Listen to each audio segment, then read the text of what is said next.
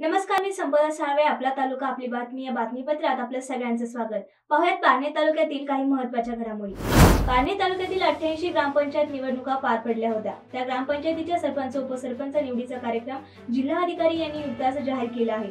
त्यानुसार पारणे तालुक्यातील अठ्ठ्याऐंशी ग्रामपंचायत सरपंच उपसरपंच निवड दिनांक नऊ व दहा फेब्रुवारी रोजी होणार असल्याची माहिती तहसीलदार ज्योती देवरे यांनी दिली आहे. पारणे तालुक्यातील पानोली घाट परिसरामध्ये जंगली वन प्राण्यांची शिकार करत असल्याबाबतची बातमी गुप्त बातमी मार्फत वनक्षेत्रपाल सीमा गोरे यांना मिळाली असता वनपाल संदीप भोसले वनरक्षक अश्विनी साळुंके यांच्या पथकाने केलेल्या कारवाईमध्ये सहा शिकाऱ्यांना ताब्यात घेण्यात आले आहे.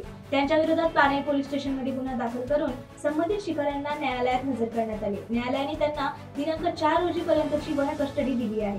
पारणे तालुक्यातील गारगुंडी येथील पंच्याहत्तर वर्षीय अपंग आजोबा त्रिंबक बारीकराव झावरे यांच्या नाकावर गेल्या अनेक दिवसांपासून गाठ होती. परिस्थिती हालाकीची असल्याने उपचारासाठी पैसे नसल्याने त्रास होत असताना देखील ते उपचार घेऊ शकत नव्हते. हे जेव्हा पारनेरची पंचायत समिती सदस्य डॉक्टर श्रीकांत पठारे यांना समजले तेव्हा त्यांनी तातडीने रुग्णवाहिका पाठवून अपंग आजोबांना हॉस्पिटलमध्ये दाखल करून त्यांच्या नाकाची शस्त्रक्रिया यशस्वी केली.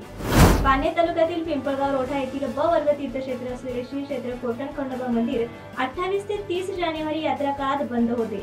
एकतीस जानेवारी पासून मंदिर भाविकांना दर्शनासाठी खुले झाले आहे. दर्शनाला जाताना मास्क लावणे हात स्वच्छ करणे व सुरक्षित अंतर पाळणे बंधनकारक आहे.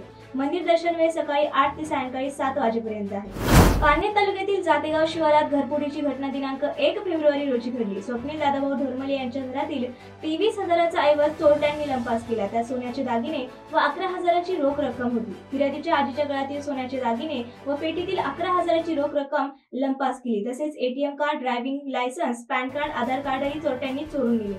या प्रकरणी सुपा पोलीस ठाण्यात गुन्हा दाखल झाला आहे. पुढील तपास पोलीस हेड कॉन्स्टेबल अर्कित ते हे करत आहे महाराष्ट्र राज्य मराठी पत्रकार संघाच्या अहमदनगर जिल्हा सचिवपदी दत्ता गाडगेसर यांची नियुक्ती झाली. प्रदेश अध्यक्ष वसंत मुंडे प्रदेश संघटक संजय घोकरे व प्रदेश महासचिव विश्वासराव आरोटे यांच्या आदेशानुसार जिल्हा अध्यक्ष दत्ता पाचपुते यांनी दत्ता गाडगे यांना नियुक्तीचे पत्र दिले आहे. निवडीनंतर प्रदेश महासचिव विश्वासराव आरोटे यांनी दत्ता गाडगे यांचा शाल श्रीफळ देऊन सत्कार केला. यावेळी मायभूमीचे संपादक राम तांबे उपस्थित होते. या बातमीपत्रात वेळ झाली तेच थांबण्याची ताज्या आणि महत्त्वाच्या घडामोडी जाणून घेण्यासाठी पाहत रहा मायभूमी न्यूज आवाज Jeremy